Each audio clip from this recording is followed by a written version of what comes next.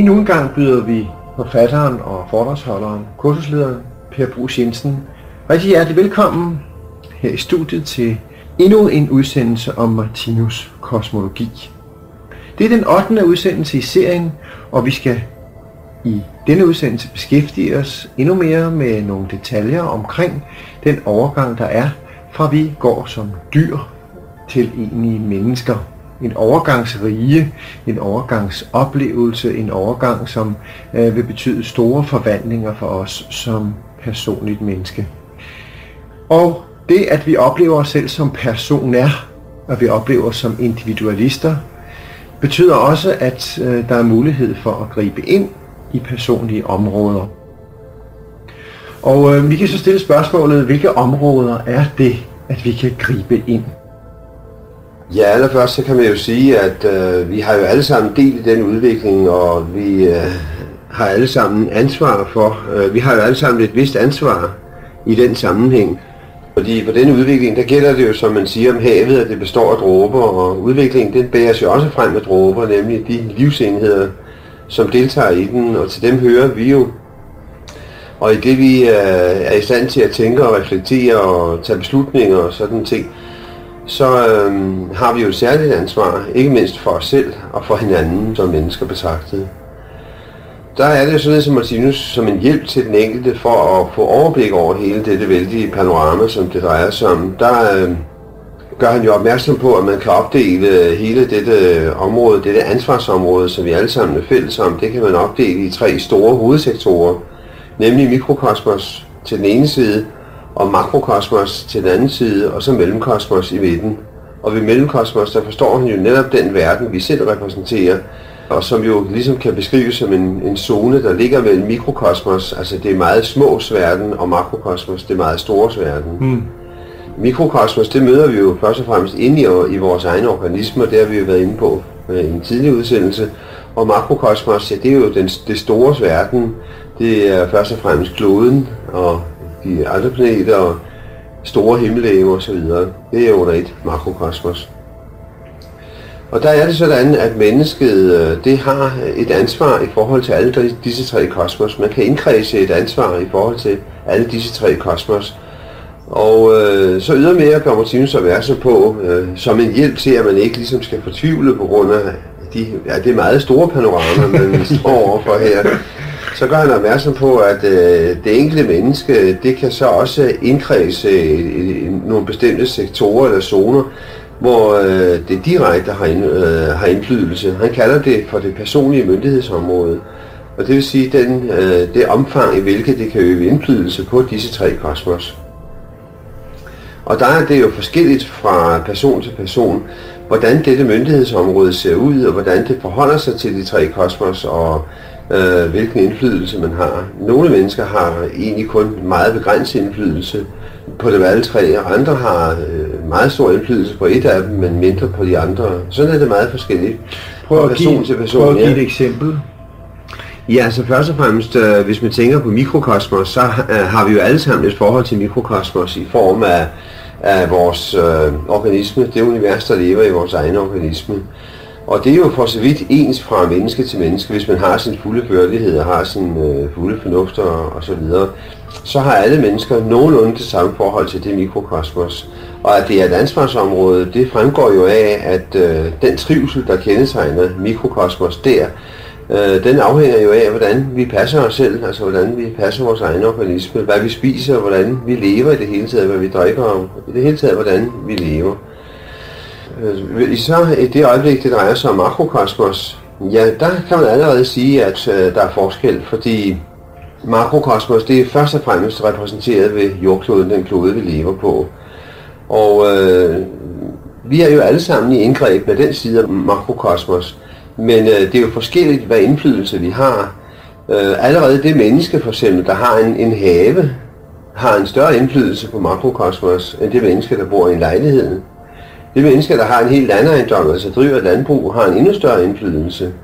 Og sådan kan man se, at der er forskel på den indflydelse, man har på makrokosmos. Men uanset om det er et lille eller stort område, så har man altså ansvar i det omfang, som man har indflydelse.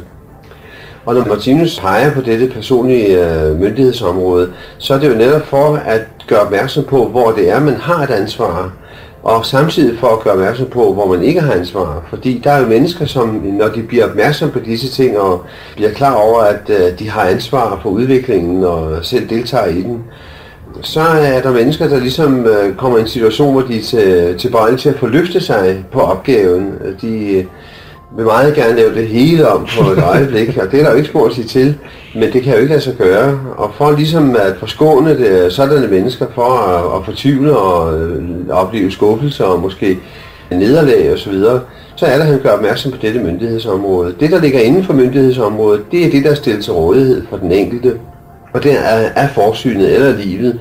Og der har man et ansvar. Det kan man aldrig løbe fra.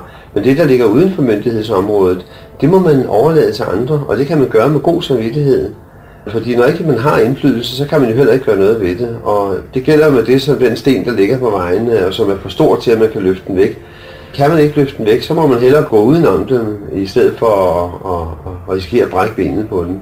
Ja, det vil være uklogt. Ja, netop. Og sådan er det også med alt det andet.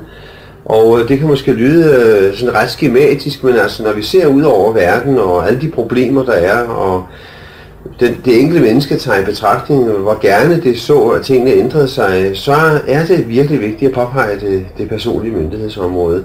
Fordi øh, det definerer temmelig rimeligt, hvor man har ansvar og hvor man har pligt, og samtidig hvor man ikke har det i samme grad i hvert fald. Og det samme gælder i forhold til mellemkosmos, det vil sige øh, først og fremmest forholdet menneske og menneske imellem. Jamen det gælder jo også, at øh, det er vi jo alle sammen i berøring med, og dermed så hører det under alle omstændigheder med til vores myndighedsområde. Men vores indflydelse er jo forskelligt. Vi kan pege på øh, husmoren, den hjemmegående husmor, som ikke har nogen større omgangskreds, øh, og hendes myndighedsområde i den mellemkosmiske zone, ja, det begrænser sig jo egentlig til hjemmet og øh, vekselvirkningen med familien og familiemedlemmerne. Mens øh, manden øh, måske har et arbejde ude og har kontakt med arbejdskammerater og har et eller andet ansvar på sit arbejde osv., Hans mellemkosmiske myndighedsområde, det er allerede dermed større. Det kan jo også være den hjemmegående husfar, og så er det konen eller kvinden, der er ude i erhvervslivet, som har et større mellemkosmisk myndighedsområde. Ja, det kan være meget forskelligt. Det kan være meget forskelligt, men altså øh, det generelle det er, at man har en, et, et vist område, som kan være større eller mindre. Kontorchefens, det er jo endnu større, og politikeren, der har indflydelse i Folketinget, er endnu større, og sådan er det forskelligt fra person til person. Så man kan jo egentlig sige, at man egentlig også vælger sit ansvarsområde igennem de sult og mættelser, man har. Altså. Ja, det kan, man, øh, det kan man sige. Altså noget fødes man jo egentlig i, men ja. det er jo dybest set også et spørgsmål om sult og mættelse. Ja. Øh, og andet, det øh, vælger man jo selv dagsbevidst at, at tage del i. Netop i den nye tid her, som man taler så meget om, der er det jo netop sådan, at, at folk begynder at tage lidt mere ansvar i første ja, omgang for deres de udvider deres og... myndighedsområder ja. ved at knytte sig til forskellige bevægelser osv. Og det øh, gør jo også, at ansvaret det bliver udvidet. Og øh, det er jo øh, en mulighed, vi alle sammen har. I det omfang, vi har ressourcer, vi har overskud, så kan vi jo knytte os til, til sådan ting, hvis vi har lyst til at løfte et større ansvar, øh, end øh, der umiddelbart frembyder sig i vores hverdag ja, så kan man jo gøre det. Og øh, det er jo storartet, at den mulighed består. Jeg vil nok sige, at øh, nogle mennesker ligefrem taler om, at det var måske bedre, at man ikke havde stukket næsen så langt frem, fordi så havde man ikke så stort et ansvar. Ja, det er jo øh, rigtigt nok, men øh, man kan jo, i sådan nogle situationer, der kan vi jo så trække den til sig igen, hvis det er nødvendigt. Men øh, det er jo under alle omstændigheder frivilligt, at man har gjort det. Men der er jo... så, så længe at der er kræfter og motiv, altså motivationen er i orden, jamen så kan man jo også gøre noget, og man gør meget eller lidt. Det er jo ikke det afgørende. Det afgørende for en selv først og fremmest, det er jo, at man er med til at fremme denne udvikling. Fordi øh, rent psykologisk virker det jo øh, løftende, at man er med til at bære det fremad. Men øh, også der gælder det jo, at man behøver jo ikke at påtage sig større opgaver, end man er i stand til at varetage. Det har man jo ikke pligt til. Man kan vel også sige, at der er også ansvarsområder, som man ikke kan undgå at blive rodet ind i. Alene den viden, som for eksempel kosmologien lægger frem, den påbyder jo pludselig en at tænke i helt nye områder, og dermed inddrager man, øh, inddrages man i et nyt ansvarsområde. Øh, det er rigtigt, ja. Øhm, altså når man øh, oplever det som en sandhed, det øh, der her taler om, ja, så er det klart, så, så øh, taler det jo til en på en måde, øh, som øh, svarer til, at ansvarsområdet det bliver udvidet. Herunder jo også med hensyn til det ansvar, der ligger i at sprede disse oplysninger. Fordi, øh, det, netop fordi det gælder, som jeg øh, fortalte om vores øh, generalsekretær, Gerner Larsen, der, det er hans spøgefulde sagde, at Martinus arbejde, det er verdens nat. Det, det kan man jo komme af med, men det kan man jo ikke med det. Når først det er gået ind, og man har forstået det på samme måde, som man forstår, at 2 og 2 det er 4, så fanger bordet, og så um, er der knyttet et ansvar til at have den viden. Også med hensyn til det at videregive den til andre mennesker.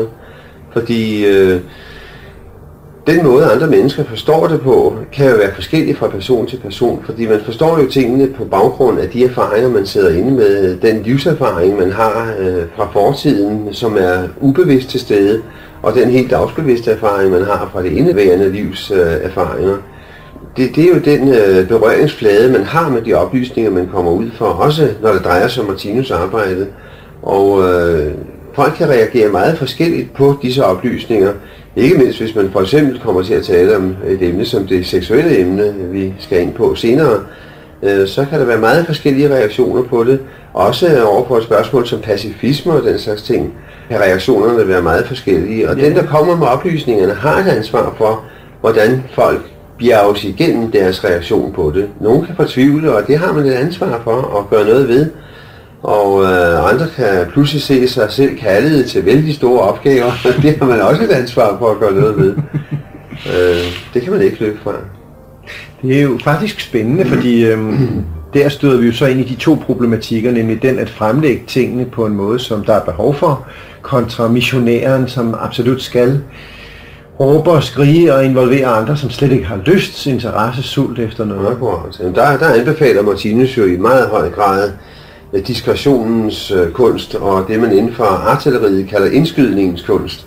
Og det består jo i, at man, hvis man skal ramme et eller andet mål med en kanon, så afskyder man jo en granat på lykke og fromme, så at sige. Altså man sigter sig ind på den så godt man kan, og afskyder en granat og ser, hvor den slår ned, og så retter man jo kanonen ind efter det.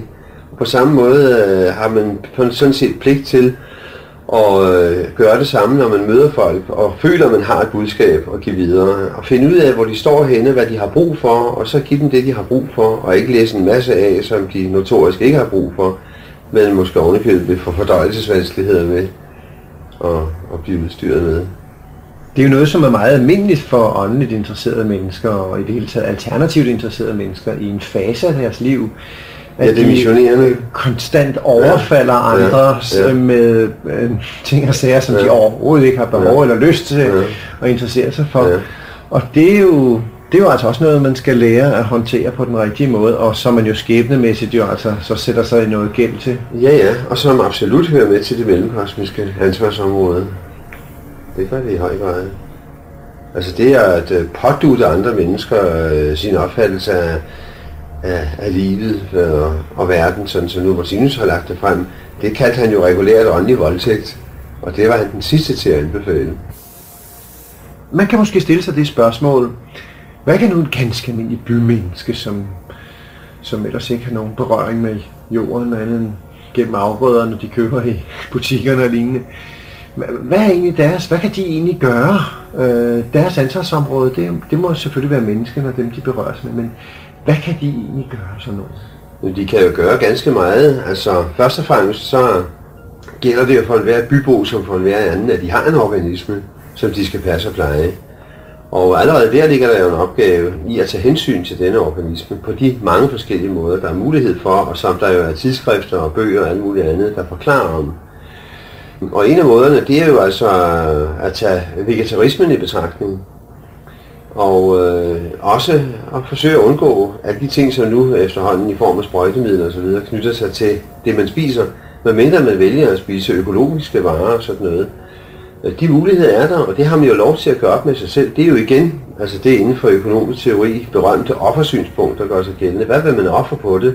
Hvad er det værd for en? Og øh, er det tilstrækkeligt værd, ja, så er man jo også parat til at betale den pris, øh, det vil koste. Og så viser det sig jo, at for uden at tage hensyn til det mikrokosmos, der er inde i os selv, så tager man jo også andre hensyn. Undlader man at leve af, kødprodukter, jamen så tager man jo hensyn til de dyr, der ellers skulle lægge krop til. Dem er der jo ikke brug for. Jo flere der bliver vegetarianer, jo mindre der er brug for at producere svin og køer øh, høns og et og alt det der. Det er klart, så det, det rager også ind den vej. Og øh, hvis man foretrækker økologiske produkter frem for det andet, jamen, så tager man også hensyn til den jordklode, der skal lægge ryg til produktionen af tingene, fordi den lider jo voldsomt under den måde, øh, landbruget det drives på i øjeblikket, i hvert fald her i Europa. Så også der øh, øver man indflydelse gennem sine valg i hverdagen som bybo. Og så er der jo ikke mindst tilbage af vekselvirkningen med, med andre mennesker i hverdagen øh, hvor vi jo alle sammen øh, har en berøringsflade, og hvor vi kan øh, demonstrere vores ansvarsfølelse på utallige måder. Fordi øh, det daglige liv, det er jo et fantastisk væv og, og mønster af kontakter og berøringer osv. Og øh, øh, meget af det, der foregår i dag, det er jo en sådan art, at øh, vi sover hinanden hver eneste dag og tærer på hinandens øh, livsglæde og lyst til at leve osv. Og øh, det kan der jo gøres kolossalt meget ved. Der er jo så mange detaljer i det, at det jo ikke er til at, at komme ind på det her. Vi ved det jo alle sammen med hinanden. Det gælder jo først og fremmest i øh, ens omgang med sin nære familie, og dernæst arbejdspladsen, og dernæst venner og bekendte, og interessefællesskab osv. Vi kan alle sammen lægge kursen mere eller mindre om, hvis vi virkelig er interesseret i det. Hvor der er en vilje, er der også altid en vej. Og derfor er det vigtigste, det er at få viljen til, øh, til at komme til stede. Og øh, ud fra den kan man jo så øh, efterhånden udvikle mere og mere erfaring og strategi med hensyn til det at tage hensyn til andre. Fordi det er ikke ubetinget let at tage hensyn til andre, fordi man kan jo som bekendt ikke lægge gaver i knyttede hænder, og det er ikke altid, at de andre forstår ens gode hensigter, hvis man øh, skulle begynde at få sådan nogen. Og øh, man vil måske under tiden blive misforstået, man vil måske også blive anset for at være tosset eller tossegod eller noget i den retning. Snedig, der må ligge noget ja, under. Akkurat. Der er så mange øh, reaktioner på det. Og i alle disse reaktioner ligger der jo en udfordring til en som livskunstner. Og hvis man ser på sagen på den måde, så bliver det spændende. Alene det at, at øh, lade være med at undfange intolerance og øh, lade være med at besvare øh, ubehageligheder med ubehageligheder osv., det ligger der en kolossal opgave i, som er fantastisk spændende i det øjeblik, man tager fat på den.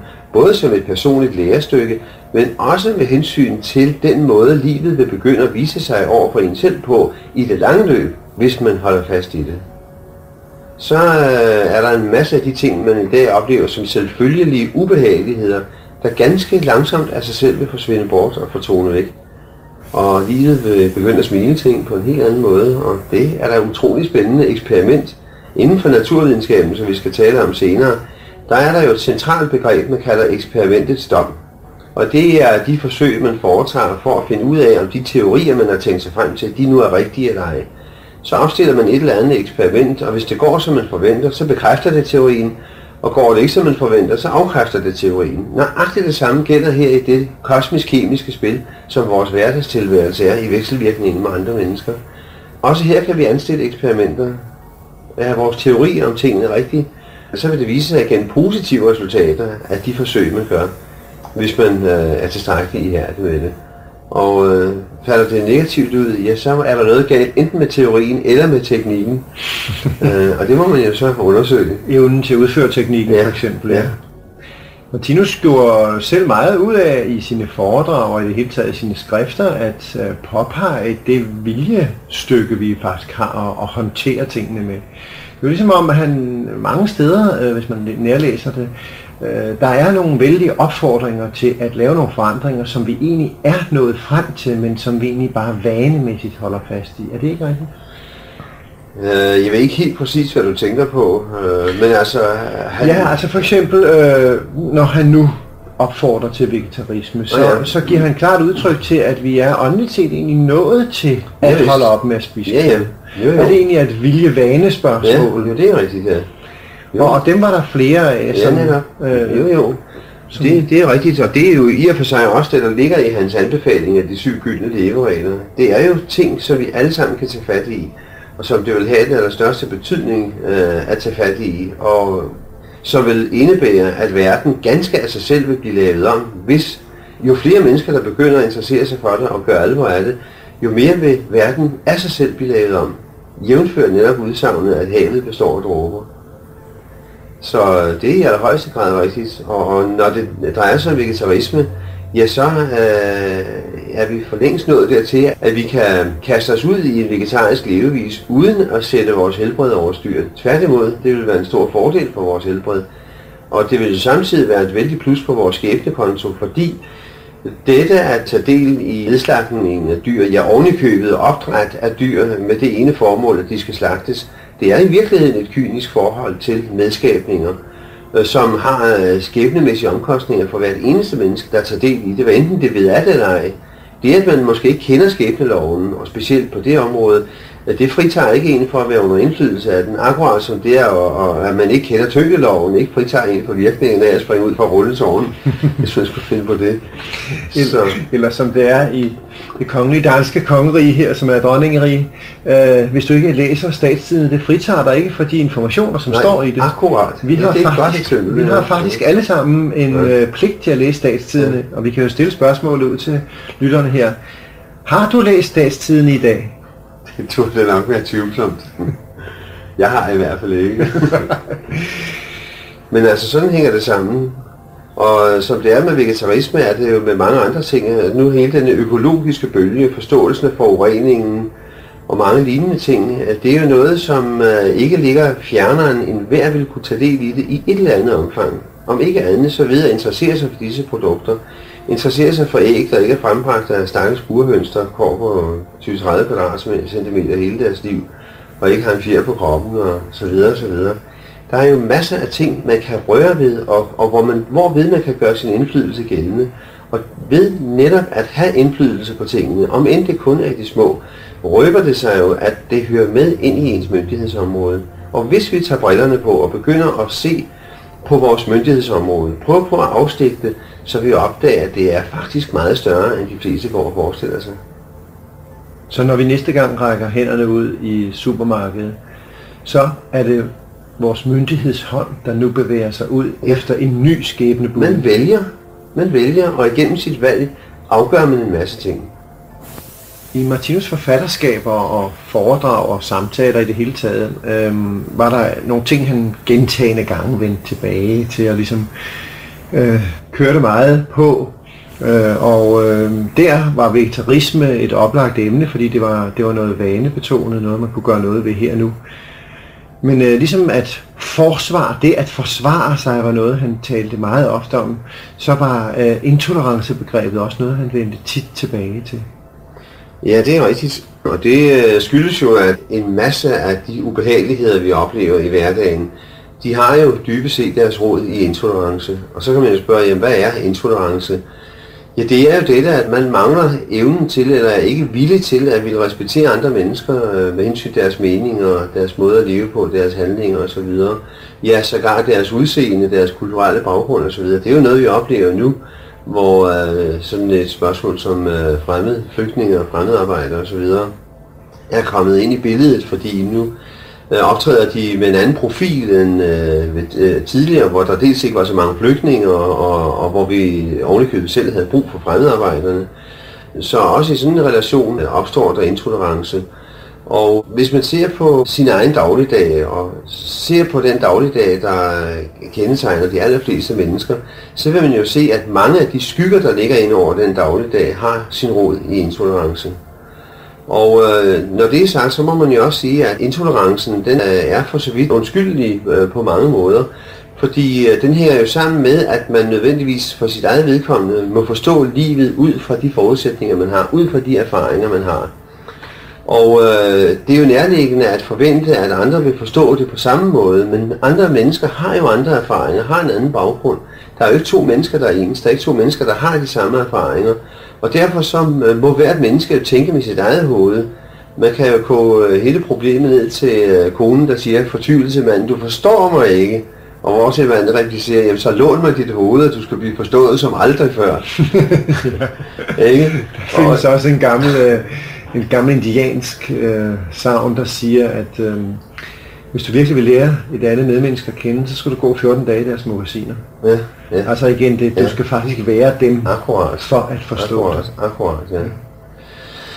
Og øh, det der er pointen her, det er jo at nå frem til at indse, at et hvert menneske har sin egen indre verden, har sine egne erfaringer, som de nødvendigvis må tænke, handle og reflektere ud fra. Og i det øjeblik, man indser det, så vil man også respektere, at de er, som de er og så vil man så få det bedst mulige ud af det. Så vil man jo også kunne indse, jamen altså, uden at de er anderledes på en måde, der måske kan virke irriterende, fordi det er lidt besværligt for en selv, jamen så er der da også det ved det, at det gør dem anderledes end hvert andet menneske, og det ligger der nogle meget spændende muligheder i. Fordi øh, efterhånden som udviklingen fortsætter, så vil vi lære at værdsætte andre menneskers ejendommeligheder i meget højere grad, end vi gør i dag. Vi vil faktisk blive glade for dem. Vi vil blive glade for dem, fordi det er jo det, der gør, at mødet med et hvert menneske er en spændende nyoplevelse. Så øh, hvis bare man vil øh, besinde sig på netop dette og indse, at andre mennesker, de er som de er, fordi de har den baggrund, der nu er gældende på deres vedkommende, og det er de ret til, Øh, Øh, bare man vil indse det, så vil man jo etablere sig et nyt forhold til deres ejendommeligheder, og også det, der er ubehageligt for en selv. Og så vil man se en opgave i at takle det på en måde, som er relevant for situationen, altså som gør, at man får det bedst muligt ud af situationen. Allerede det, at man selv viser vilje til at ville tolerere andre mennesker, altså lade dem være, som de er, det løser jo i sig selv kolossalt mange konflikter af dem, der i øjeblikket forpester livet for næsten de fleste mennesker. Og det var jo grunden til, at Martinus meget øh, påpegede intolerancen som fænomen og dens mekanismer og, og baggrund. Man kan sige, at det dybest set bunder i vores mangel på forståelse til at indse, øh, hvor subjektiv en verden vi egentlig lever i. Det, det er det ene, men det, det er sådan set også fordi, at vi... Øh, vi har ikke gjort os selv klart, hvorfor vi selv er, som vi er, og hvorfor andre de er, som de er. Vi har ikke rigtig gjort os det klart, og derfor tager vi for givet, at andre mennesker, de må da kunne tænke på samme måde, som man selv gør, de må da kunne føle på samme måde, som man selv gør, og så videre. Bare man indser, at det kan de ikke. Man kan jo være mere eller mindre beslægtet selvfølgelig, men øh, vi er alle sammen forskellige i forhold til hinanden, og vi har ret til det, og bare man vil indse den ene ting og tage konsekvensen af den i sin egen væremåde i hverdagen, så vil alting glide utrolig meget lettere. Nu kan det jo være, at man som lytter sidder og forestiller sig, at øhm, et menneske som Martinus med det indblik og den forståelse og den indsigt i livets mekanismer og lignende, havde en fantastisk strålende og let livsproces her i det fysiske.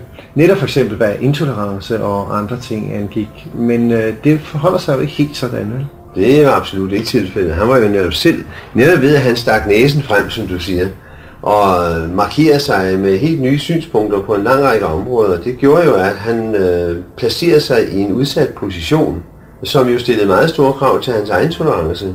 Men hvor jeg må sige ud fra min egen erfaring, at den måde han reagerede over for sådan noget på, øh, det viste klart, at det var ren automatfunktion for ham at takle den slags ting. Det var ikke noget, der frembød nogen vanskelighed. Jeg kan nævne et eksempel, som gjorde dybt indtryk på mig selv. Og det var en dag, hvor, hvor Tine skulle holde foredrag om aftenen. Så var jeg beskæftiget med at lave et, øh, et nyt symbol. Uh, han havde tegnet selve øh, stillet i det, så skulle han farvelægge det. Og han var faktisk i tidnød, fordi det viste, at det var mere kompliceret, end han først havde tænkt sig, at det skulle være færdigt til om aftenen.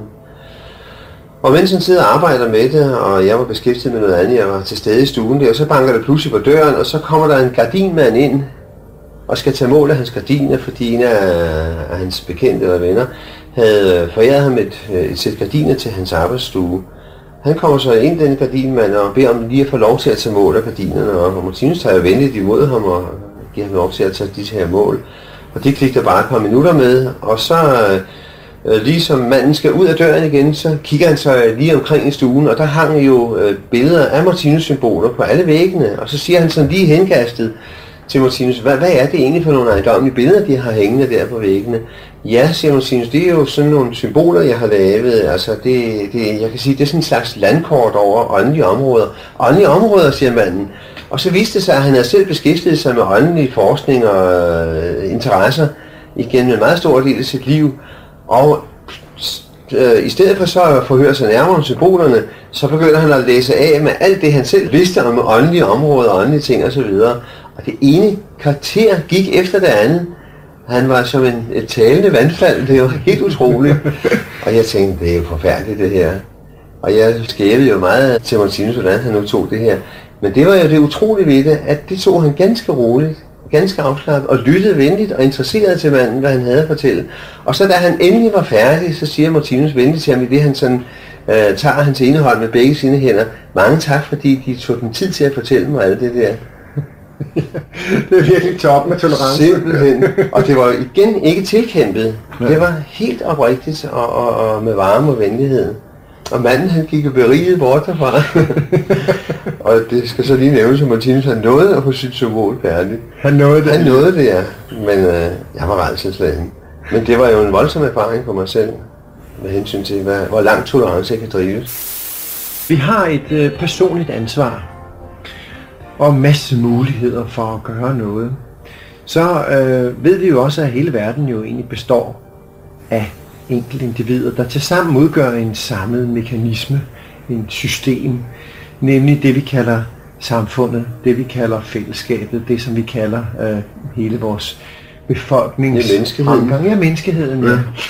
Og øh, det som for egentlig for mange mennesker er et problem, både deres personlige og deres kollektive øh, skal vi sige, liv, det er jo, at man ikke rigtig har nogen målsætninger, øh, fordi man ikke rigtig ved, hvad er det, der sker. Hvorfor sker der det, der sker? Og det problem, det er jo altså også noget, som vi jo ikke bare personligt står med, men også kollektivt står med. Hvorfor sker det, der sker? Og her er åndsvidenskaben jo en mulighed. En helt ny mulighed. Fordi ja. den ligesom fortæller noget om, hvor kører toget hen. Ja, netop. Den, den er jo vigtig af, ikke alene af den grund, men også fordi den øh, sætter det enkelte menneskes indsats ind i en større sammenhæng som man kan forklare på den måde, at alle mennesker, de øh, trækkes jo med i den evolution, som de deltager i, hvad enten de vil det eller ej. Og der ligger der jo en betydning i at indse, hvad det er for en kurs, denne evolution holder. Fordi det vil øh, medvirke til, at den enkelte kan forstå, at det ikke er uden betydning, hvad man gør, fordi det er jo meget tit folk, de siger til sig selv, jamen selvom jeg gør alt, hvad jeg kan, og selvom jeg stiller, stiller hele mit liv til rådighed for øh, en ideel øh, levevis øh, på alle mulige områder, hvad hjælper det så? Ja, hvad ikke? Man, man føler sig afmægtig over på disse kæmpe problemer. Og der er, er det fuldstændig rigtigt, at her vil åndsvidenskaben kunne øh, spille en vigtig rolle. For det første ved at gøre rede for, hvad det er for en kurs evolutionen følger, og det vil sige, hvad det er for en fremtid menneskeheden bevæger sig frem imod, øh, hvad enten den ved det eller ej, hvad enten den vil det eller ej, og hvad enten den arbejder med på det eller ej. Så allerede det at få kursen stukket af og øh, målet i sigte, det er jo meget værd for den enkelte. Fordi det, det vil jo gøre, at det viser sig nyttigt at gøre, hvad man kan, uanset hvor lidt det batter øh, lige i øjeblikket i den store sammenhæng. Og samtidig ligger der jo det i det, at jo flere mennesker, der kommer til at forstå denne kurs og forstå deres egen interesse i at arbejde med på at virkeliggøre den, jo hurtigere vil det jo komme til at gå. Og der er det jo klart, at der er det, at åndsvidenskaben kan spille en, en rolle som formidler af evolutionen, som accelerator på evolutionen. For jo flere mennesker, der kommer til at forstå, hvad det handler om, jo flere vil også blive interesseret i, det ligger jo i deres egen personlige interesse at gøre det, jo flere vil altså også blive interesseret i at tage del i det på en positiv måde, arbejde med i den rigtige retning. I øjeblikket er de fleste mennesker jo uden tro på nogen som helst kurs. Uden de gør sig det klart, så er de fleste mennesker jo i dag rent faktisk på samme måde som øh, Bertrand Russell, den store engelske filosof og matematiker Bertrand Russell, i tvivl om, hvorvidt menneskeheden overhovedet har nogen fremtid.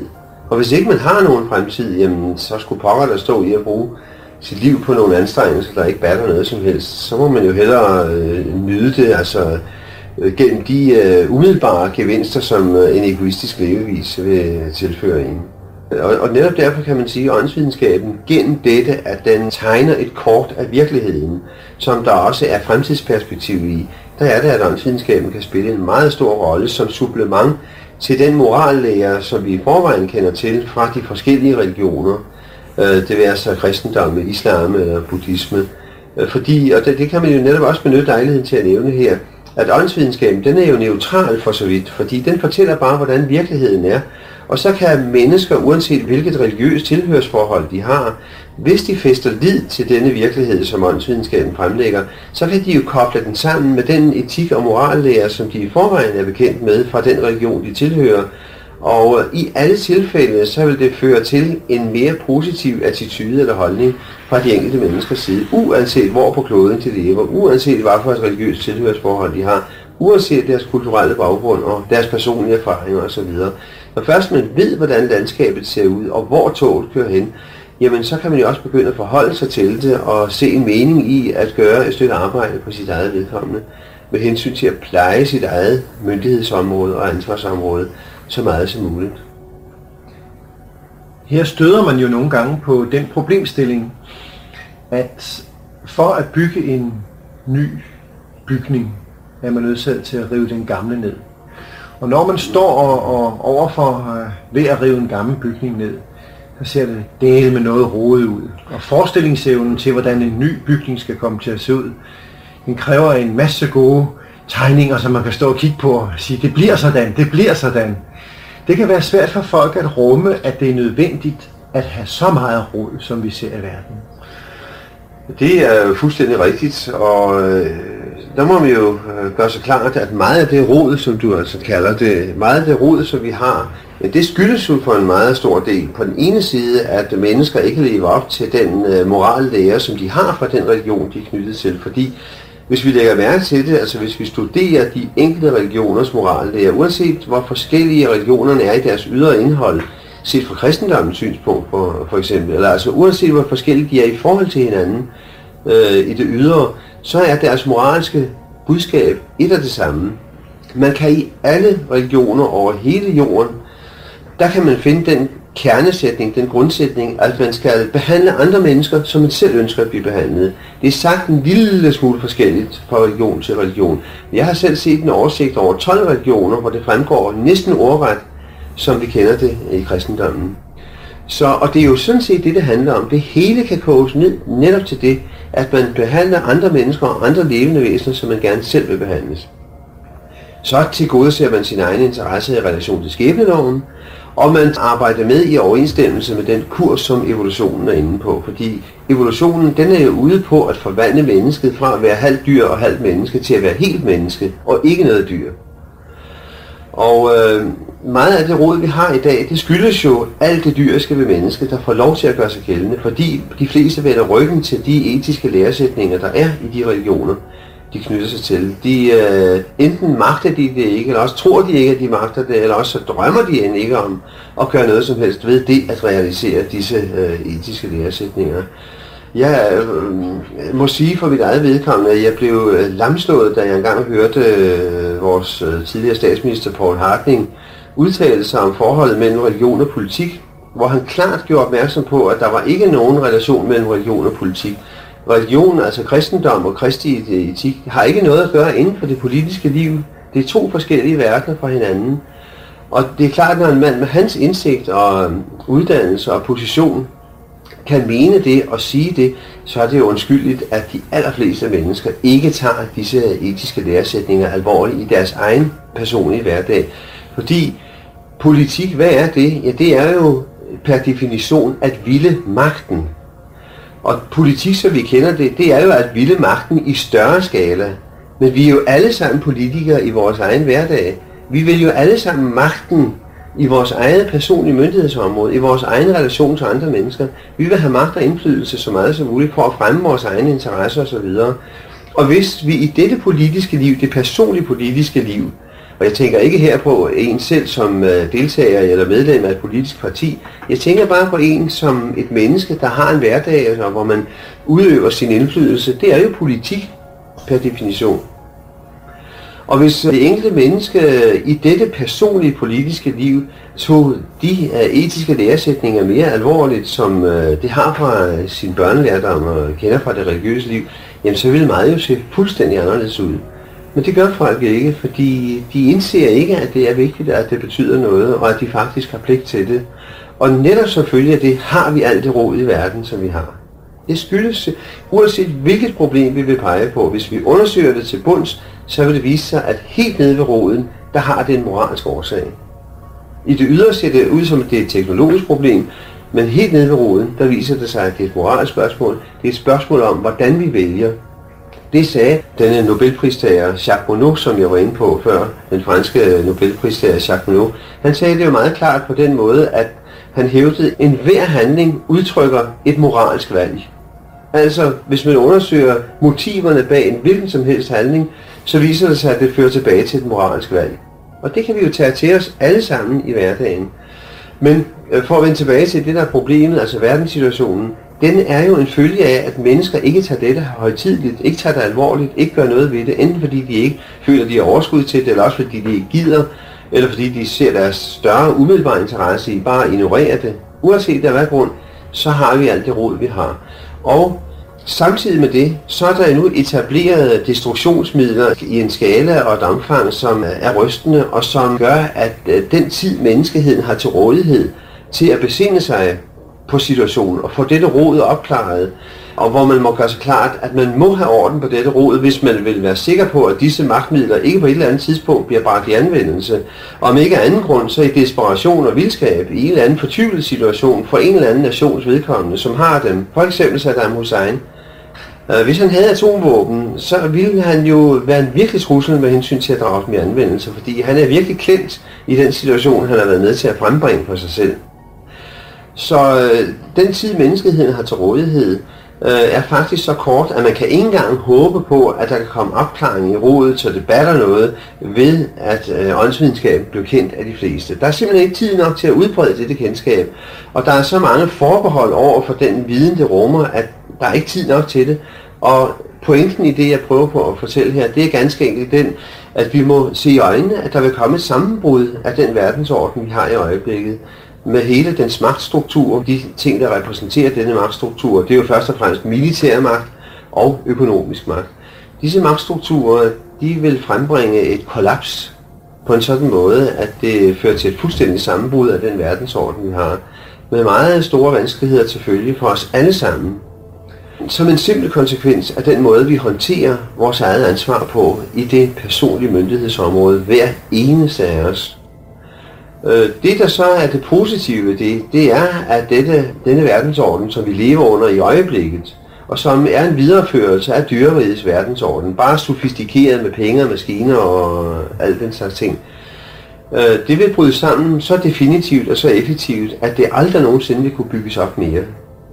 Det vil have nogle virkninger ind på menneskeheden, som gør, at hvis livet skal gå videre for os alle sammen, så er man nødt til at tage fat på at opbygge en ny verdensorden, der følger fuldstændig andre normer. Og øh, i den sammenhæng øh, vil man blive opmærksom på nødvendigheden af at realisere den etik, man allerede har fra de religioner, man, vi har kendskab til i verden. For deres opgave har simpelthen at fortælle os, hvordan vi bør handle og leve for at få et ideelt, et maksimalt ideelt liv ud af det. Det vil man begynde at tage mere alvorligt i opbygningen af denne nye verdensorden, og i øh, kølvandet på det vil åndsvidenskaben som virkelighedsbeskrivelse via sin indflydelse på naturvidenskaben komme til at få et meget stort ord, og bidrage til at accelerere denne udvikling meget betydeligt. Det kan jo lyde som et håb. Er det et realistisk håb? Det kan det, men øh, når vi taler om sammenbruddet, jamen, så kan man jo henvise til, hvad fredsforskerne de sagde allerede for år tilbage, at på den måde kapitalmagten og øh, rustningsmagten, altså rustningsindustrierne, bare den måde de to magter spiller sammen på, det indebærer, at der uundgåeligt vil komme et kollaps i løbet af de kommende, inden for de kommende 20 år. Hvis man har fulgt den udsendelse, der har været vist i tv om pengenes magt, den måde pengene arbejder på i verden og undergraver systemer og Nationer? Ja, nationer i virkeligheden. Hvis man ser på det og sammenholder det med den indflydelse, pengemagten har på de økologiske mekanismers bæredygtighed fremover, så kan man jo indse, at det er kun et spørgsmål om begrænset tid, før der vil komme et kollaps. Enten et økonomisk kollaps, der vil føre til et økologisk kollaps, eller et økologisk kollaps, der fører til økonomisk kollaps, eller et politisk. demografisk kollaps, netop ja, et politisk kollaps, der fører til kollaps på begge de andre to systemer det, øh, det, det kan den sunde fornuft simpelthen øh, sige en, at det må nødvendigvis komme, hvis man har sat sig bare minimalt ind i de mekanismer, der, der er tale om. Så det er ikke kun et håb, når det drejer sig om selve kollapset af den verdensorden, vi kender i øjeblikket. Det kan man næsten regne med som en sikker kendskærning, øh, at det vil komme. Det man så har lov til at håbe på, det er jo, at der så er noget bagefter, og det kan jeg jo ikke sidde her og bevise, at der er.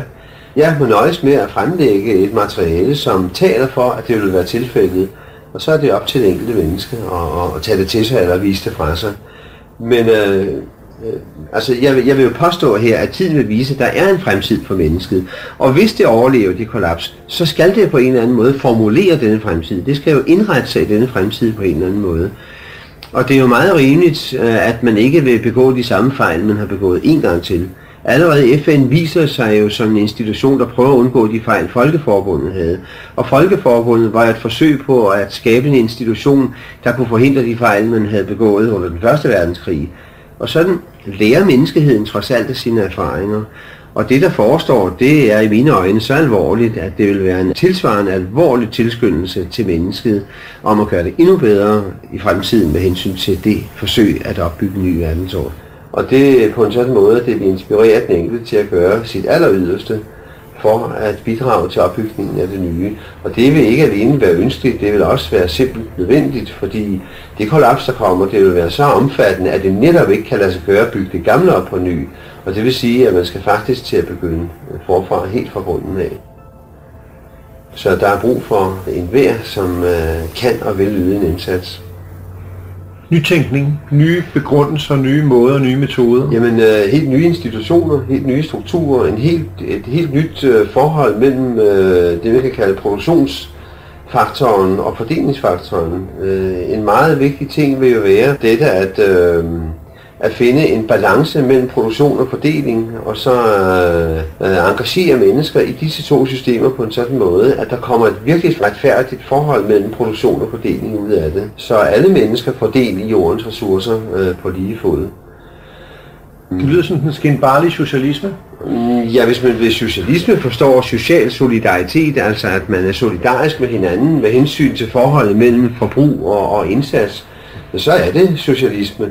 Men det er jo ikke en socialisme, der påsvinges øh, ovenfra af et vældig byråkrati, som vi nu har set øh, i Østeuropa, og hvor vi netop har set et sådan systems øh, falit og kollaps ganske eftertrykkeligt, og blandt andet fordi det er jo et system, som er udtryk for en anden form for magtudøvelse. Her taler vi om et system, som vil blive bygget op på frivillighedens basis, og hvor det eneste mål med det, det er at etablere en verdensorden, hvor alle bliver tilgodeset, øh, hvor alle har lige ret, og hvor øh, alle samtidig også har pligt til at gøre, hvad de kan for at bidrage til opbygningen af det nye samfund. Martinus han hævder jo i den forbindelse, at selve øh, grundlaget, selve øh, centralnervesystemet i, dette, i denne nye verdensorden, det vil blive en verdensregering, en international verdensregering. Man vil indse, at den måde nationerne lever på i dag, øh, som han jo kalder Wild West-formen, forstået på den måde, at man har en position i henhold til den magt, man kan udøve, så vil der altså blive etableret en, en øh, international verdensregering, som virker efter et helt andet princip, nemlig at alle skal tilgodeses retfærdigt med hensyn til de behov, der naturligt er til stede. Og denne verdensregering den vil se det som en af sine første og vigtigste opgaver at få skabt koordinering imellem øh, den globale produktion af livsfornødenheder af alle mulige forskellige slags, og så fordeling af dem på en rationel og fornuftig og retfærdig måde. Der er vel overgangsfænomener, før en verdensregering kan etableres? Eller er det direkte efter kollapset? Det vil være direkte efter kollapset. Altså ligesom den første verdenskrig efterlod et behov for et folkeforbund, der var en helt nyskabelse i menneskeheden. Og den, efter, den anden verdenskrig efterlod et behov for at gøre folkeforbundet bedre, altså prøve det på ny, men i en, i en stærkere form. Sådan vil øh, denne internationale verdensregering, som Martinus øh, har profeteret den, komme som en konsekvens af det kollaps, der, der forestår, og som ikke er så forfærdeligt langt ude i fremtiden. Der vil denne internationale verdensregering simpelthen være en konsekvens af den. Den vil være udtryk for, at man vil forsøge at videreføre det, som Folkeforbundet og endnu mere FN har stået for til dato, men hvor FN jo har været kendetegnet, og også Folkeforbundet endnu mere har været kendetegnet ved, at man har ikke de her magtmidler, der skal til for at håndhæve den internationale retfærdighed. Nationerne er jo bevæbnet i dag på en sådan måde, at FN kan ikke stille meget op, hvis ikke de pågældende nationer vil være med til det. Det ser vi jo masser af eksempler på, og sidst her med Saddam Hussein. Og ja, også et land som Israel, der jo ikke er noget voldsomt stort land, men altså, de er bevæbnet til tænderne på en sådan måde, at det de vil, det, det vil de, og det kan FN ikke gøre ret meget ved. Og sådan er det jo hele vejen rundt. Så en af de øh, første og vigtigste opgaver, og det vil der være meget stor vilje til, når den tid kommer, det er, at nationerne bliver afvæbnet på en sådan måde, at de kan optræde som angrebsmagter i forhold til hinanden. Så de ikke kan? De, så de ikke kan optræde som, altså på en sådan måde, at de ikke kan i fremtiden optræde som angrebsmagter over for hinanden. Det militære og den bevæbning af dem, der vil være tilbage, det vil være af en sådan art, at det kun kan løse, og er myntet på at løse uh, indre opgaver, altså politiopgaver, samfundsopgaver. Uh. Mens FN så vil blive bevæbnet? Så uh, ja, FN vil blive bevæbnet på den måde, som vi jo ser det i dag, med fredsmissioner, fredsstyrker og uh, overvågningsstyrker osv., som godt nok er bevæbnet, men hvor der så vidt mig bekendt aldrig har øh, fundet nogen anvendelse af den bevæbning sted. Men det er man altså, øh, og det vil man også være øh, i, i fremtiden. Men øh, det er jo på samme måde som politiet øh, i Danmark. Øh, de er jo også bevæbnet, men det er jo yderst sjældent, at der er brug for det. Og først og fremmest så vil der jo ikke være brug for et bevæbnet FN i relation til konflikter mellem nationerne, fordi at der er ikke nogen mulighed for nationerne for at, at gøre en, en magtindflydelse gældende over for hinanden. Så Øh, Øh, det vil, man, man, der vil være vilje til, øh, sådan, øh, der vil være endnu mere vilje til, eller rettere sagt, der vil være den fornødne vilje til at arrangere det på en sådan måde, at det vil kunne glide i mindelighed alt sammen. Selvfølgelig vil der være problemer og konflikter af forskellige art, men det vil ikke kunne føre til øh, kriser og katastrofer af den art, som vi har været vidne til i form af de, af de tilbagelagte verdenskrige og, og i form af de kollapser, som vi kan forudse, der vil komme i fremtiden. Nu siger du i fremtiden, når Martinus taler øh, også om dette kollaps som en nødvendig mulighed, men øh, hvornår? Ja, det har han jo ikke vildt eller kunnet udtale sig om. Det, jeg ved ikke, om det er det ene eller det andet, der er tilfældet. Men han har jo sagt, at det er inden for en overskuelig fremtid, at det vil fuldbyrde sig. Og det harmonerer jeg i øvrigt med, hvad netop fredsforskerne siger, at de, de giver jo kun menneskeheden omkring 20 år. Det er jo endda nogle år siden, at det var tilfældet. Det giver jo kun øh, menneskeheden cirka 20 år til at løse problemerne her og nu, eller også i møde at det vil komme et sådan kollaps. Netop med den nye vilje, det nye ønske og det nye behov, som vil komme efter et sådan sammenbrud, så kunne man jo netop forestille sig, at tingene vil gå meget hurtigt øh, i en opbygningsfase i det enorme ønske, der har måttet være. Vi kan jo jævnføre materialismens opbygning efter 2. verdenskrig, som jo virkelig øh, var voldsom, så meget som man overhovedet kunne og, og formåede. Og på samme måde vil der være nogle nye formåner her, som man vil gå i gang med. Det, det er helt givet. Altså, mennesket vil være øh, grebet af et enormt ønske om at øh, gøre noget ved tingene og få bygget tingene op så hurtigt som muligt. Og fra alle sider vil øh, der blive vist den største vilje og den største beredvillighed til at gøre den fornødende indsats, og man vil øh, jo ikke have de problemer og slås med, som hænger sammen med, at der er forskellige øh, enten mennesker eller øh, grupper, som har monopoler på dit og dat. Man vil indse, at den fremtidige verdensorden den må hvile på det forhold, at alle mennesker har øh, ret til og andel i de ressourcer, som kloden stiller til rådighed. Og det, der er opgaven, det er at fordele det og skabe en retfærdig fordeling af tingene imellem alle mennesker. Og ved at tage fat på den opgave og gør det bekendt for alle hver, så alle ved, hvad det drejer sig om, og hvad det er for noget, man skal bygge op, så vil man jo også frembringe den situation, at krige ikke alene øh, gøres umulige i kraft af den indflydelse, den internationale verdensregering vil få, men de vil jo også blive fuldstændig overflødiggjort. Hvis vi ser på det EF, der er ved at danne sig i øjeblikket, så vil man jo se, at en af de meget markante virkninger af hele den integrationsproces, der foregår, det er, at det bliver mere og mere utænkeligt, at der skulle kunne finde krig sted imellem de nationer, der er engageret i det. Akkurat som man i dag ikke kunne forestille sig, at der skulle kunne udbryde krig mellem Sverige og Danmark for eksempel, eller Sverige, Danmark og Norge. Øh, sådan gør forskellige kyndige øh, personer sig til talsmænd for det synspunkt, at efterhånden som denne integration i øh, Europa, øh, efterhånden som den fuldbyrder sig, så er det lige så utænkeligt, at der skulle kunne udbryde krig mellem disse nationer.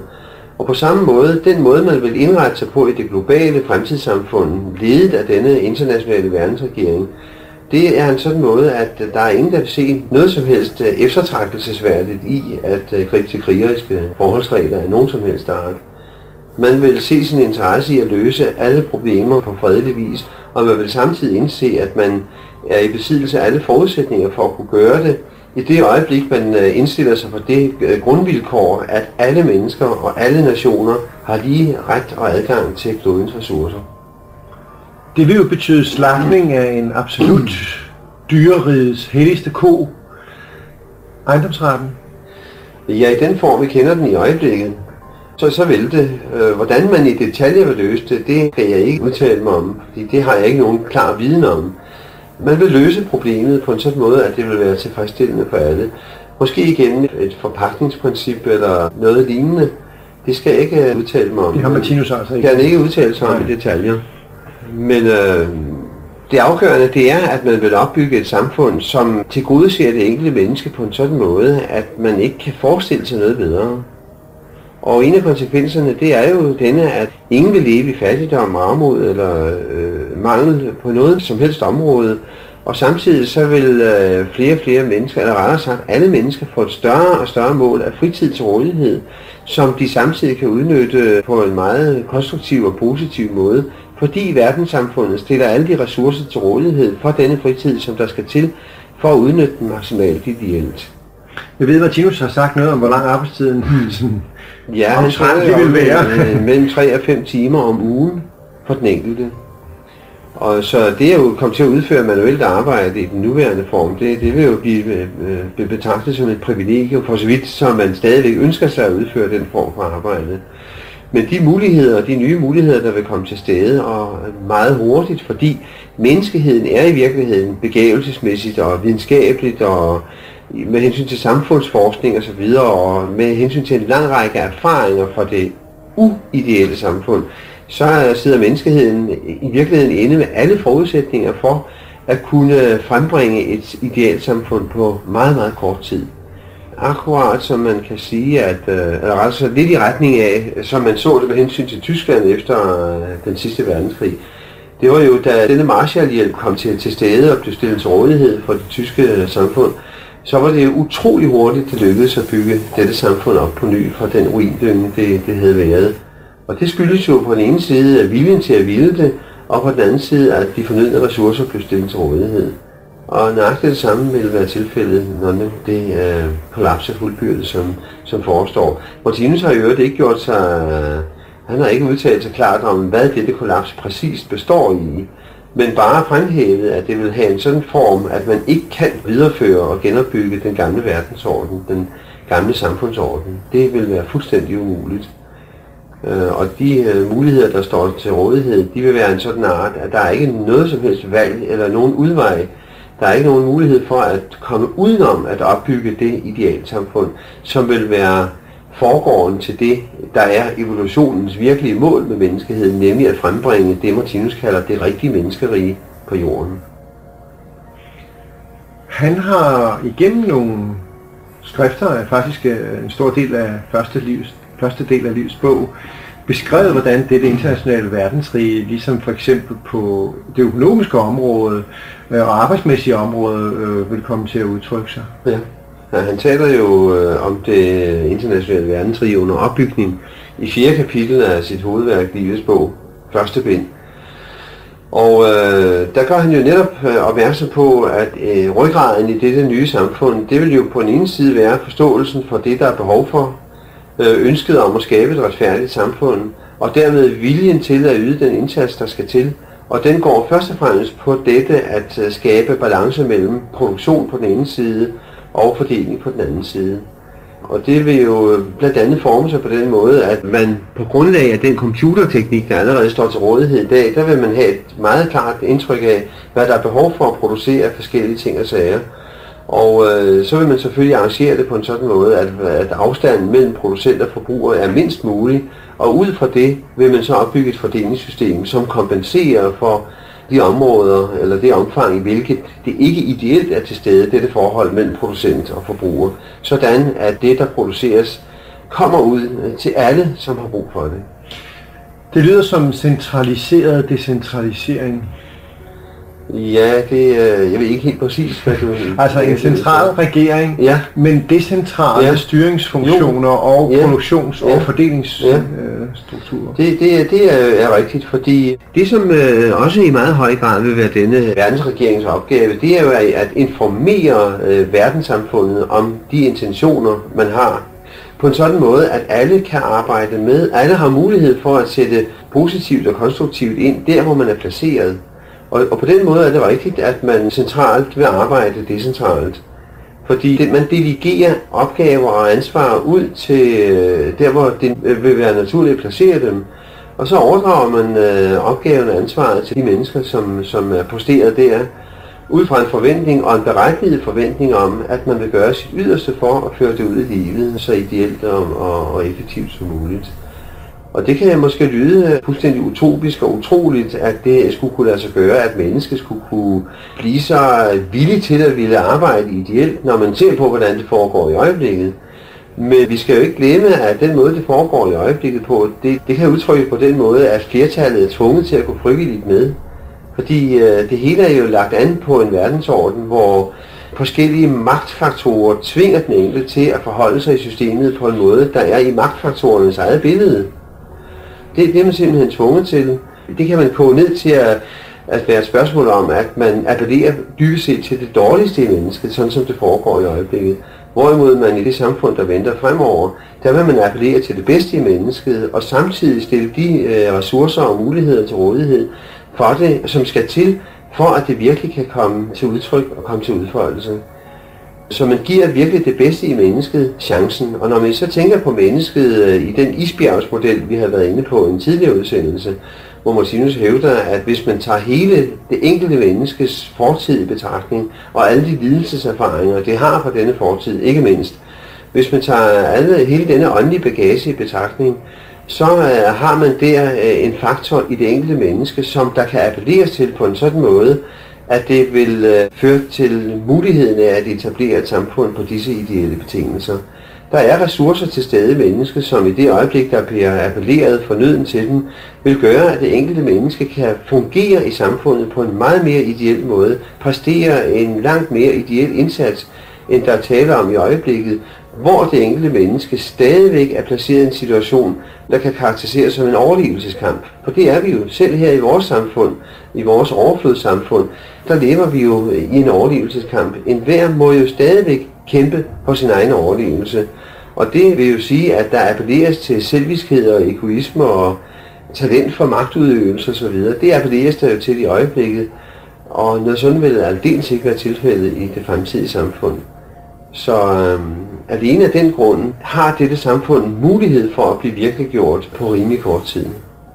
Og det er altså ikke fordi mennesket pludselig bliver bedre fra den ene dag til den anden. Det er simpelthen fordi man trækker på det gode, der er i mennesket allerede her og nu. Og samtidig så suspenderer man alle de faktorer, som i øjeblikket appellerer til det dårligste i mennesket. Og det er klart, det vil have en meget, meget markant effekt. Spørgsmålet er, om man bliver stimuleret af, Ja. så kan I gang sætte en masse ting. Ja, netop. Og, øh, Og når man samtidig kan se, at det er i alles interesse, jamen så er det klart, så vil det bevæge sig den vej. Hvis vi nu skulle se noget praktisk, som Martinus også har givet udtryk for, så er der noget med, at han egentlig har forudset creditcarden om ind til Ja. noget lidt andet. Ja, jo netop. Ja, Credit card. Forstået på den måde, at øh, det enkelte menneskes bidrag til det forbrug, som øh, hele verdenssamfundet vil have, øh, det enkelte menneskes bidrag, det afstemmes efter det enkelte menneskes forbrug på den måde, at alle mennesker bliver udstyret med et globalt kontokort, som på den ene side opnoterer det antal øh, timer, arbejdstimer, som den enkelte har ydet, der hvor der nu er brug for det, på den ene side, og så øh, det forbrug, som vedkommende har på den anden side. Og der vil man forlades øh, som en slags folkeløn, er det ikke noget, det man kalder Jo, det? borgerløn. Borgerløn. Der vil man stille et vist øh, standardforbrug, der defineres inden for nogle bestemte rammer. Det vil man forlade at stille til rådighed for enhver, som ens naturlige adkomst til at have et liv og en tilværelse. Og så vil man overfor det stille forventninger om, at den enkelte yder en indsats, der er afstemt efter det, der skal til, for at man kan have dette forbrug med god samvittighed. Og det, det drejer sig om, når man tager teknologien til hjælp i det omfang, der faktisk er muligt, og det er jo i dag allerede muligt at etablere fuldautomatiske fabrikker osv., ja, så er den indsats, den, den enkelte skal yde for at opretholde denne standardtilværelse, det er øh, 3-5 timer om ugen, og det skulle enhver nok kunne overkomme. Og det er i så høj grad, at man også vil yde en maksimal indsats, altså så man er 100% effektiv, mens man arbejder. Plus det, at det intelligente er jo at sætte folk til at arbejde med noget, de kan lide. Selvfølgelig, det er jo klart. Og øh, det vil jo ikke være svært, når det kun er 3-5 timer om ugen, det drejer sig om. Det, det vil man jo øh, faktisk længes efter at komme til at arbejde med. Øh, det vil da gælde, at de langt de fleste, og er der endelig nogen, der ikke har lyst, så er der også plads til det. Så skal de bare arbejde i en anden sammenhæng. Man skal, og det krav vil man øh, håndhæve meget strengt, man skal gøre en indsats, der svarer til det, der skal til at indsats for, at øh, en standardsforbrug det er til gode set. Økologisk arbejdstid? Ja, det er det. Økologisk arbejdstid, ja. Og øh, ønsker man så mere end det, der ligger inden for rammerne af dette standardforbrug, jamen, så kan det også opnås ved, at man bare øh, øver en tilsvarende større indsats. Nogle mennesker tænker jo i den her henseende for eksempel på, at I det vil give et vældigt ressourceforbrug og et vældigt overskuds, eller ikke overskuds, men overflod samfund, og hvem skal dog gå i... Og forureningsproblemer. Ja, og hvem skal dog gå i kloakkerne, og ja. der bliver jo ingen kloakker. For der bliver jo ikke noget at lede ud, fordi alting vil naturligt selvfølgelig blive genanvendt i en 100% cyklus. Ikke? Akkurat. Det er jo en af de ting, som verdenssamfundet vil få råd til uden diskussion. Det er jo at etablere et genbrugskredsløb på alle mulige områder. Det kan man jo allerede gøre i dag i stor stil, men altså økonomiske hindringer stiller sig i vejen for dets virkeliggørelse. Og det hænger jo igen sammen med, at øh, samfundet i øjeblikket, det kører jo på profitbegrebet øh, i en eller anden form. Og hvor det hele det drejer sig om, hvad der kan betale sig i kroner og øre, og ikke i overlevelseskvaliteter, i overlevelsesmuligheder, i livskvaliteter osv. Det måles i kroner og øre, og øh, netop derfor så stiller der sig masser af hindringer i vejen for at udnytte de muligheder for for eksempel at komme forureningen til liv, som allerede er til stede i dag. Men det vil det ikke være i fremtidssamfundet, fordi man anlægger tilværelsen på helt andre værdikriterier, og herunder først og fremmest livskvalitetsbegrebet på den ene side, og den pligt, man har til at holde øh, det globale miljø øh, i orden på den anden side, helt i overensstemmelse med det, der kendetegnede de nordamerikanske indianere, for de levede jo i samme liv med naturen på en måde, der udtrykte respekt for naturen og dens økosystemer. Og det vil fremtidsmennesket også have anledning til at gøre, og vil realisere det og gøre det uden større vanskelighed, fordi der stiller sig ikke de profitinteresser i vejen for det, som der er tilfældet i dag. Man kunne måske her lægge et eksempel frem på, hvilke muligheder der er til rådighed for mennesket, som vil blive udnyttet, og hvad det vil kunne betyde i forhold til en situation, hvor økonomiske hindringer stiller sig i vejen for virkeliggørelsen af et projekt, der virkelig vil være til stor velsignelse for hele menneskeheden allerede i dag. Vi ved jo, at et virkeligt problem for menneskeheden i dag, det er at få adgang til energi i det omfang, som man egentlig har brug for. Det skaber meget store problemer at skaffe den energi til veje, og det skaber både store miljømæssige problemer, men også store økonomiske problemer. Og selvfølgelig er det man jo satset på atomenergien, som alle hver jo kan indse, eller næsten alle hver kan indse, er til stor fare for menneskeheden på grund af de øh, affaldsproblemer, øh, deres bortskaffelse, som det indebærer. På grund af den fare for lækage og så videre, som Tjernobyl-eksplosionen er øh, eksponent for. Når man så tænker på, at der i en skrivebordskuffe et eller andet sted ligger et fuldstændig nøgleklart projekt, der går ud på at etablere et kæmpemæssigt radiatorsystem i Sahara, som igennem et relevant ledningsnet kan ledes øh, til Europa og fordeles ud i hele Europa. Dette øh, projekt det ligger nøgleklart i en skuffe et sted, sådan at man kunne realisere det på kort tid, hvis man havde den fornødne vilje til det, og som ville være i stand til at forsyne hele Europas øh, industri med al den energi, den har brug for, øh, så at sige til, til 0 kroner. Fordi når først dette radiatorsystem det cirkulerer og er sat i gang, så sørger solen ved sin bagning ned på radiatorerne i Saharas ørken for, at det simpelthen fungerer og producerer den energi, der skal bruges. Og hvad er det så, der gør, at man ikke realiserer dette projekt? Jamen det er alle de ressourcer, man allerede har investeret i atomenergiproduktionen. Og det er jo et eksempel på, hvordan øh, en kortsigtet økonomisk politik, den spærrer for øh, langsigtede goder for menneskeheden. Og øh, det nævner for at nævne et eksempel på, hvordan man ikke vil gribe tingene an i det fremtidige verdenssamfund. Der vil man spørge, hvordan kan vi etablere os på en sådan måde, at vi maksimalt tilgodeser de tre ansvarsområder, som menneskeheden kan pege på, som de zoner, der ligger inden for menneskehedens samlede myndighedsområde. Nemlig makrokosmos, og det er det globale miljø på den ene side. Mikrokosmos, det er det mikrokosmos, der er i alle menneskehedens organismer på den anden Vores side. helse. Altså vores helse. Og så mellemkosmos, og det vil sige vores forhold til hinanden, til dyrene, til planterne, øh, til alt, hvad der er af liv på jorden. Det vil man tilgodese maksimalt. Og det vil man indse som sin vigtigste opgave, og den vil være vejledende for, hvordan man vil indrette sig. Vi fik ikke helt besvaret øh, ressourceproblemet. Det er jo noget, som mange alternative mennesker virkelig tænker på. Og selvfølgelig ser man det ud fra den betragtning, som er lige nu. Men øh, hvordan vil verdenssamfundet håndtere en sådan forbrug? Som jo vil være enormt, når vi tænker på, at vi vil være 8 milliarder mennesker, eller noget af den stil. Det er klart, øh, at ressourceforbruget, det vil jo være meget stort, og det vil det jo især være, når der ikke er de restriktioner, som i øjeblikket hensætter den største del af menneskeheden i en utrolig fattig og elendig tilstand. Hvorimod der taler om et, et fremtidssamfund, hvor alle mennesker, hvor alle jordens mennesker, foreløbig 5 milliarder, men der vil jo blive flere endnu. Øh, og i vores fra, at der selvfølgelig også vil blive sat en grænse for det på et eller andet tidspunkt, så er bare de 5 milliarder mennesker, der er i øjeblikket, hvis de alle sammen skulle tilgodeses med levefod, sådan som vi har den her i Danmark for eksempel, så vil det jo være ensbetydende med et enormt ressourceforbrug, og det er klart. Og det er selvfølgelig også et problem. Men det vil for en meget stor dels vedkommende øh, blive løst gennem øh, udviklingen af genbrugsteknikker.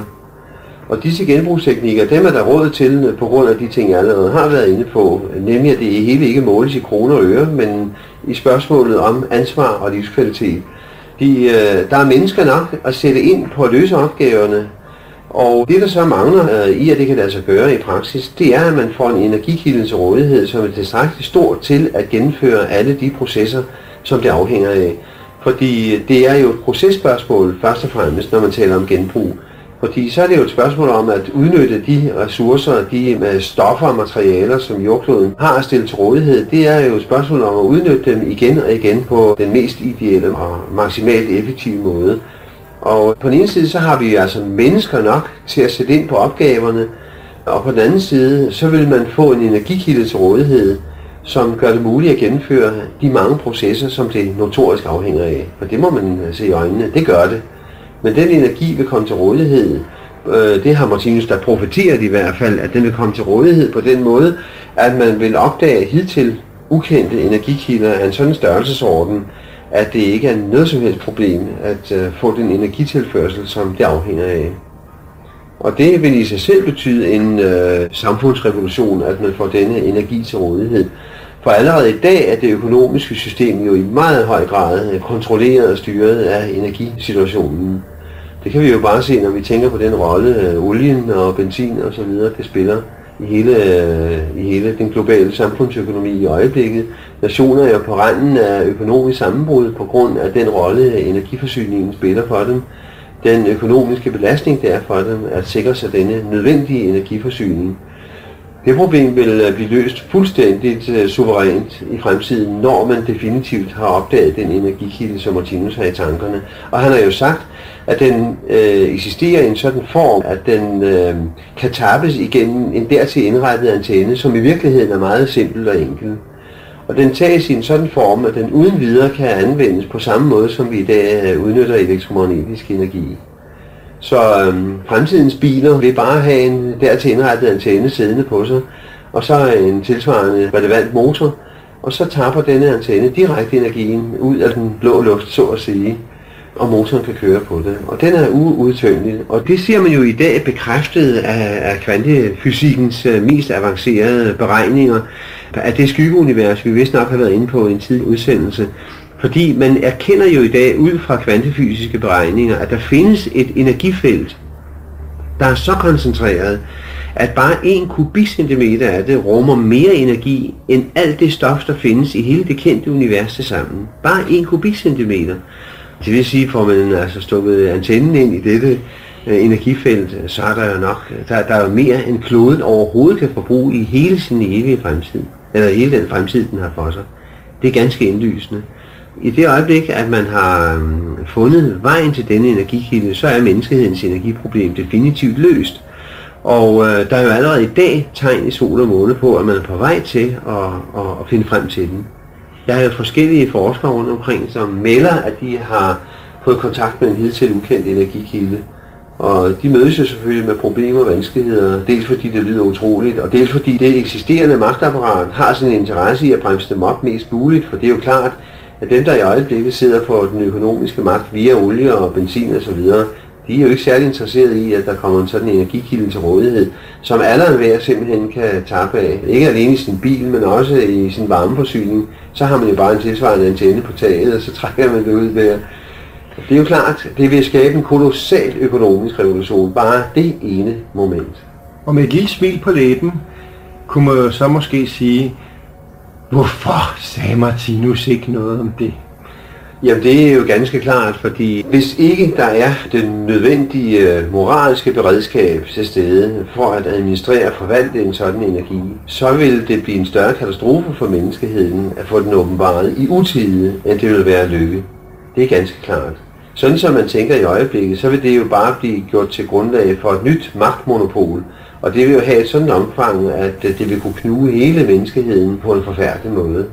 Og samtidig så vil denne energi jo også kunne bruges i militærmæssig henseende. Der vil jo kunne skabes ødelæggelsesvåben, som er en sådan størrelsesorden, at selv det værste, vi kender i dag, det er rent legetøj i forhold til.